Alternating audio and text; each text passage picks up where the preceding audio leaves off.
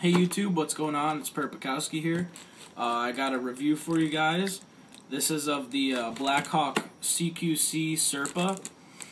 Um, I have the 1911 version, right-handed. Uh, the matte finish, it comes in uh, gunmetal, carbon fiber, and black matte finishes.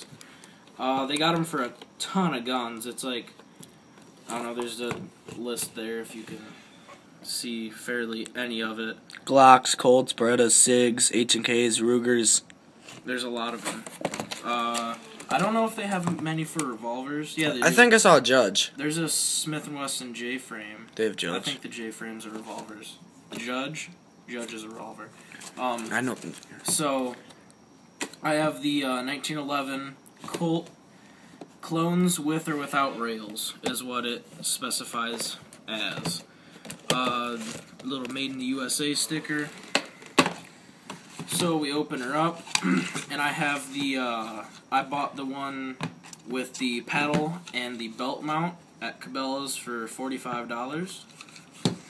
And we'll start with just the holster itself. This is the belt mount attachment.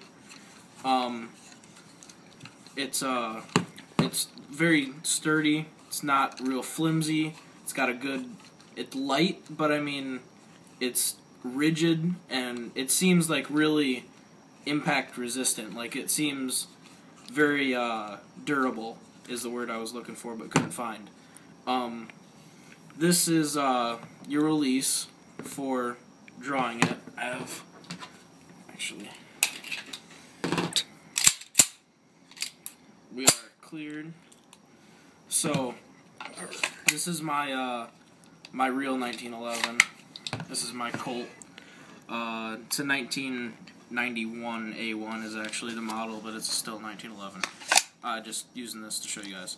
So that's what it kind of looks like with uh with the 1911 in there. Yeah, you're gonna have to keep the camera. There you go.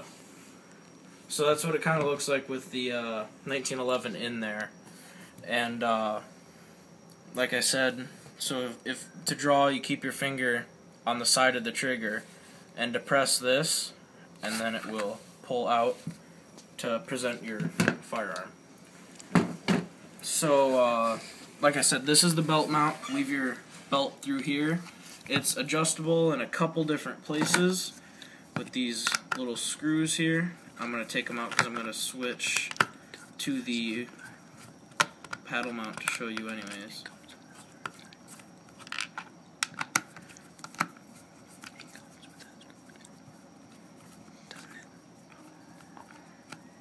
I don't know if you heard him or not, but he said it comes with a screwdriver and it doesn't.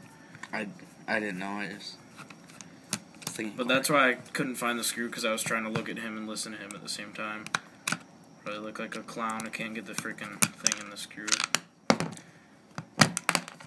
Okay. there you go. They're really little screws, as you can see. So try your best not to lose them. And they got like a little lock, uh, little Loctite bitty on them. Um, so here's the holster off of the mount.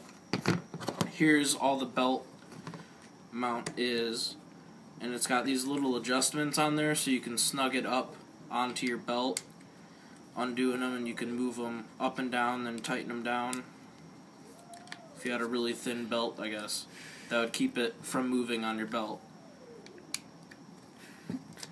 Um, okay, so there's the belt mount. In the box here, we got uh, belt clips that will attach to your paddle mount. I haven't taken them out yet because all I've used is uh, the belt mount. I just got it today, so all I used was the belt mount today. Uh, Blackhawk some kind of thing that you can mail in. I didn't really read what it was. Um, just read real quick here. Uh, oh, it's the limited warranty, is what that is. Um, your instruction booklet.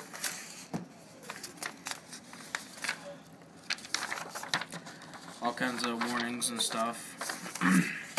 um, okay.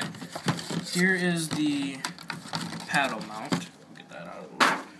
Here is the paddle mount. Size comparison. Here's the belt mount to the paddle mount. and uh, I'll go ahead and mount it on there for you so you can see it. Maybe. what the heck? Gosh. I don't know what my cats are doing, but. Okay, there we go. Dang it. Okay. It's takes a little bit more concentration than one would think to get it lined up into the hole. Put it on for one with one screw right now because I don't really have a time lapse thing and it'll take forever. So there it is with the paddle mount on it. So you can see it's quite a bit bigger profile wise uh, with the paddle mount, but it does fit closer to your body and it's real nice for a gun like my real 1911 because it is a full size 1911 so it isn't very light especially when you have a full mag it is not a very light weapon it uh, definitely is one of the heavier bigger sizes that you would want to carry with you so this mount helps it spread out that weight on your belt line makes it feel pretty comfortable I had it on for a little bit but I switched back to the belt to use. Um, so the paddle mount's real good if you have a heavier gun like this. It spreads it out. Um, it's really a personal preference on whether you want to carry the belt mount or the paddle mount. It comes with both, so not all of them come with both though. Some of them just come with the paddle mount. Some just come with the belt mount. Some come with both. So I bought the one that came with both because I didn't know what I wanted to do. Real quick, I'll touch on this. Um, it does not fit my like my WE uh, CO2 gas blowback does not fit airsoft gun does not fit in there because it is a double stack Colt design not a single stack. Here's a real one. Actually I have my other one too. So here's a green gas Colt mag airsoft. Here's a real Colt mag and here is the CO2 double stack Colt mag. So you can see just by the mag that it is a bigger, way bigger base than a single stack 1911, a way bigger handle.